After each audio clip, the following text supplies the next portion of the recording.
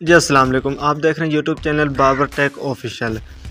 तो थंबनेल में आपने देखा होगा, इसमें, इस वीडियो में मैं आपको बताने जा रहा हूँ किस तरह से फ़र्स्ट पे ऐप के ज़रिए लोन ले सकते हैं। ये मेरा खुद का अपना एक्सपीरियंस है, मैंने इससे लोन लिया है और मैं आपको बताऊँगा आपको इससे लोन लेना चाहिए या नहीं और आपको इस ऐप के ज़रिए कितना लोन मिल सकता है, कम से कम और ज़्यादा से ज़्यादा। और इसका मुकम्मल तरीक़ाकार भी मैं आपको बताऊँगा। वीडियो आपने मुकम्मल देखनी है। और वीडियो देखने से पहले चैनल को लाइक और सब्सक्राइब कर लें आने वाले तमाम वीडियो देखने के लिए। तो बाकी का तरीका तो मैं आपको मोबाइल पर समझाऊँगा क्योंकि बताने से ज़्यादा देखने में समझ आ आ सकती हैं चीज़ें।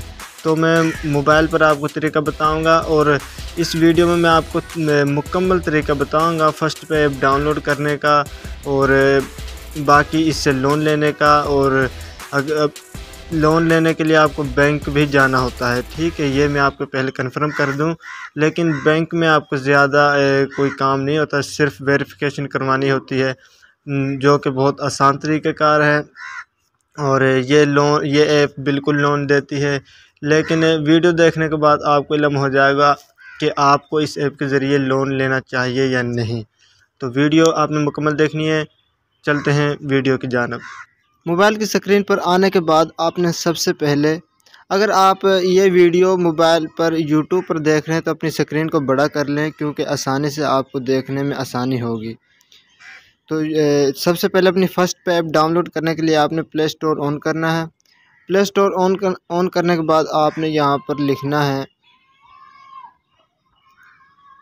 F I R S T first पे। फ़र्स्ट पर लिखने के बाद मैंने ये ऐप पहले से डाउनलोड की हुई है तो आपने यहाँ से ये ऐप डाउनलोड कर लेनी है। डाउनलोड करने के बाद आपने ऐसा करना है, इसका अकाउंट बना लेना। अकाउंट बनाने का बहुत ही आसान इसका तरीका है, वो आप यूट्यूब पर वीडियो देख लेना अकाउंट बनाने का। तो मैं आपसे शेयर करने वाला हूँ, मैंने इससे जो लोन लिया था वो आपको लेना चाहिए या नहीं और कितना लोन मिलता है। ठीक है? तो आपने इसका अकाउंट बना लेना है। अकाउंट बनाने का बहुत आसान तरीका है। मैं इस ऐप को ओपन करता हूँ।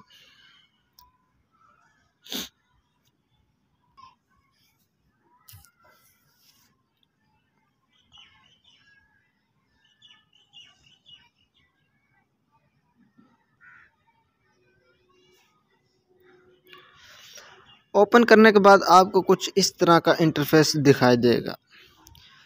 सबसे पहले मैं आपको बता दूँ यहाँ पर आपको जो यो ये लोन नज़र आ रहा है नैनो लोन ठीक है? ये आपको यहाँ पर नज़र नहीं आएगा, लेकिन आपने इस ऐप की अपडेट कर लेनी है तो आपको यहाँ पर नैनो लोन का ऑप्शन ज़रूर नज़र आएगा। तो इसकी आपने सेटिंग कर लेनी है अपने फ़र्स्ट पे ऐप अकाउंट की। तो ये आपको इस जो ये फ़र्स्ट पे ऐप अकाउंट है, इससे आप पच्चीस हज़ार तक रकम ट्रांसफ़र कर सकते हैं एक दिन में।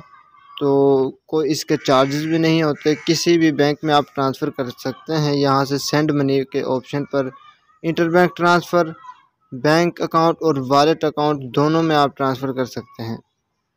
वॉलेट अकाउंट में आप यहाँ पर इजी पैसा वगैरह तमाम ये ऑप्शन दिखाई देता है, ठीक है? तो हम लोन के बारे में देख रहे हैं। लोन का मैं आपको बता देता हूँ। यहाँ पर आपको जो नैनो लोन नज़र आ रहा है दोस्तों, इस पर आपने क्लिक करना है और ये एक्सेप्ट कर लेना है, ठीक है? तो जब मैंने ये फ़र्स्ट पे अकाउंट बनाया था तो मुझे ये लोन जब मैं अप्लाई करता था तो यहाँ पर मुझे ये अप्लाई नहीं होता था लोन के लिए। तो आपने ऐसा करना है, सबसे पहले ये ऐप बनाने के बाद आपने बैंक जाना है फ़र्स्ट पे ऐप मैं बैंक गया था, ठीक है?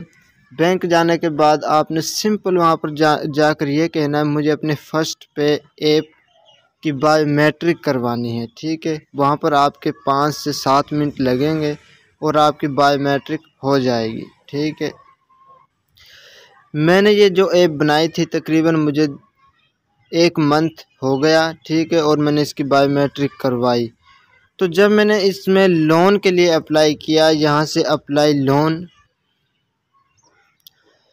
तो ये ऐप जो शुरू में लोन दिखा, दिखाती थी कि आप दस हज़ार तक लोन ले सकते हैं, ठीक है?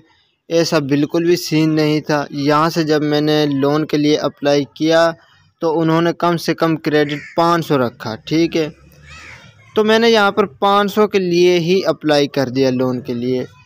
तो यहाँ से उन्होंने मेरे शनाख्ती कार्ड का शनाख्ती कार्ड नंबर मांगा और मैंने लोन के लिए अप्लाई किया। जिसका जिसके वापस करने का दौरानिया एक महीने का था, ठीक है? तो उसके बाद अप्लाई मैंने लोन किया तो इन्होंने मेरे अकाउंट में पता नहीं इसमें से कितना उन्होंने चार्जेस लिया और चार सौ रुपये इन्होंने मुझे दिए, चार सौ सात और बाकी इन्होंने काट लिए, ठीक है? और एक मंथ का टाइम है और एक मंथ के बाद मुझे इनको वापस छः सौ रुपये देने होंगे। तो ये फ़र्स्ट पे वालों की हकीकत है।